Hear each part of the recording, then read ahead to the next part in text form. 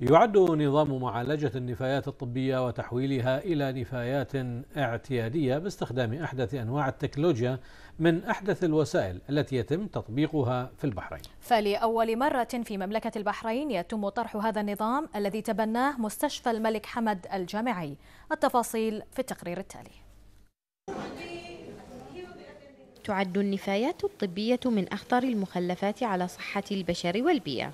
نظرا لما تحتويه من جراثيم وبكتيريا وفيروسات وغيرها من المواد الضارة والخطرة والتي قد تصل إلى الإنسان مسببة له عددا من الأمراض وذلك في حال عدم التخلص منها بالشكل السليم. لذا قام مستشفى الملك حمد الجامعي بإطلاق تجربة لمعالجة النفايات الطبية وجعلها صديقة للبيئة.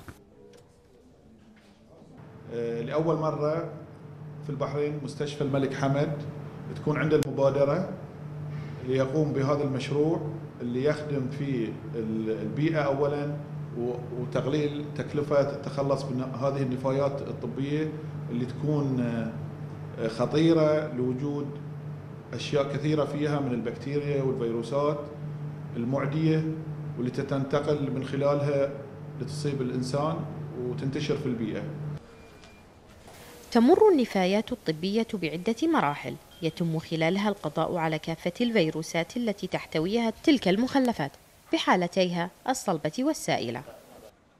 العملية مالت علاج النفايات الطبية آه، تمر بمرحلتين. المرحلة الأولى اللي هي غرفة الاحتراق حيث يتم فيها عملية آه، إدخال النفايات الطبية بحاويات خاصة مصنوعة من الألمنيوم تحمل الضغط ودرجة الحرارة العالية. آه، الحرارة داخل غرفة الاحتراق تصل إلى 286 فهرنهايت أي حوالي 145 سلسيوس سنتيغريد سلسيوس اللي هي وحدة قياس الحرارة. تحت معدل ضغط من 5 ل 7 هذه الأجواء داخل غرفة الاحتراق خلال 30 ل 45 دقيقة وهي دائرة اكتمال عملية آه، معالجة النفايات الطبية آه، تقضي على أي احتمال لوجود بكتيريا أو فيروسات في هذه الأجواء. آه، تم العملية خلال 45 دقيقة بالكثير.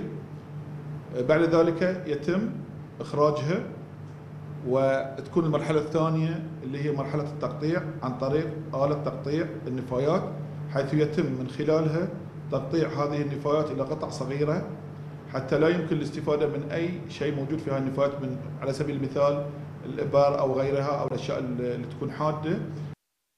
تستقبل محطة المعالجة بمستشفى الملك حمد الجامعي يوميا بما يقارب 1200 كيلوغرام من كافة أقسام المستشفى لتحقق بذلك هدفها الرئيس وهو إيجاد بيئة صحية نقية خالية من الجراثيم والأمراض. خول الجرينيس لمركز الأخبار تلفزيون البحرين.